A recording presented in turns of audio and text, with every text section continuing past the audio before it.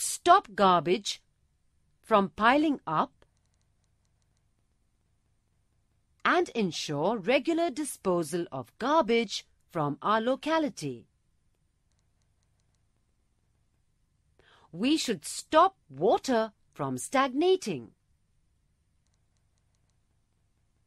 We must see that water does not collect in old tires, planters, etc. We should not use polythene bags as these choke drains, pollute the soil and are harmful to animal and plant life. We should use cloth bags for shopping.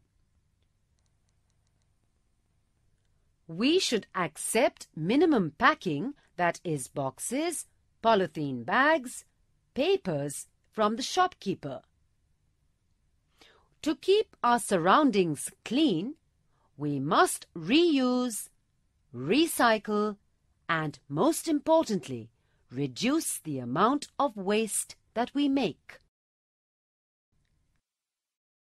So, it is said that cleanliness is next to godliness.